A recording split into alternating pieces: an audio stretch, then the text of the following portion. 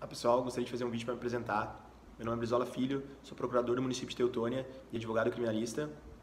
Hoje, advogado criminalista, eu iniciei minha carreira profissional querendo ser, ser juiz, eu queria ser juiz, eu achava que eu queria ser juiz. Então eu virei concurseiro. Já no ano de 2015, em agosto de 2015, eu tomei posse no cargo de procurador do município de Teutônia. Então eu dividia minha, meu tempo entre uh, as atribuições do cargo de procurador entre os estudos para magistratura e dedicando tempo para meus casos, dos meus processos particulares que eu tinha. Aos poucos eu fui tendo contato com, com, com a área criminal, com o direito penal, com o processo penal na prática, né?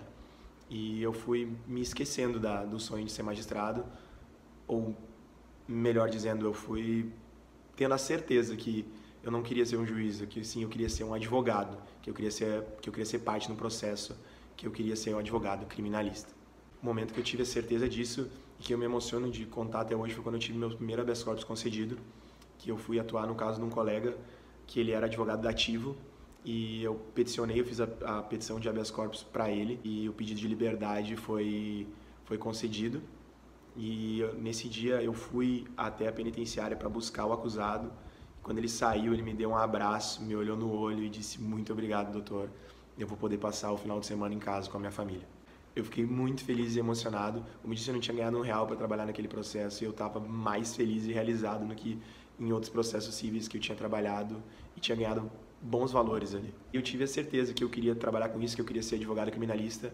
Eu acredito que ali eu tenho encontrado meu propósito, não só profissional, como propósito de vida. Eu consegui enxergar o valor absurdo que eu posso gerar na vida de uma pessoa, consegui enxergar o valor absurdo que um advogado pode gerar na vida da pessoa, das pessoas principalmente podendo às vezes ser a voz daqueles que ninguém ouve. Então hoje eu sou procurador do município de Teutônia e advogado criminalista. Só trabalho com casos que envolvem a matéria criminal e penal. E gostaria de informar vocês e pedir a permissão para estar postando alguns conteúdos sobre sobre o ramo criminal. Agradeço.